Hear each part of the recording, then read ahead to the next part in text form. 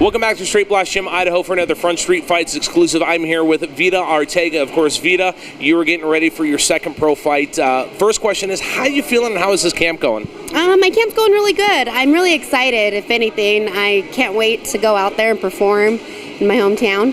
And in, you know, you say you're excited to go out there. Of course, you're excited to go out anytime in your hometown, but you're going out there on a Bellator stage, which this young and a pro career, this only being your second pro fight, that's got to be a, quite an honor. Uh, you know, it took us a while to get you to go pro. You finally go pro. Now you're stepping on the Bellator stage. How does it feel with your career kind of taking off as fast as it is right now? Um, it's a little overwhelming, but overall, I'm just embracing everything. I'm just excited that I'm taking the right fights at the right time and next thing you know it, hopefully I'll be where I want to be.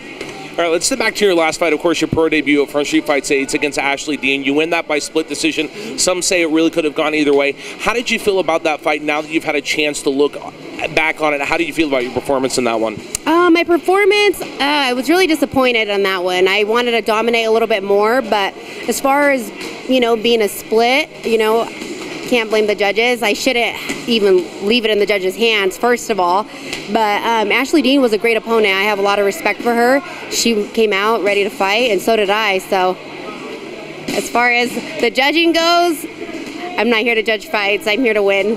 Speaking of when you're going to be looking for your second win against Jackie Vandenburgh, she's looking for her first win. You're both in your second fights. What do you know of Jackie so far, and what are you expecting from this upcoming fight?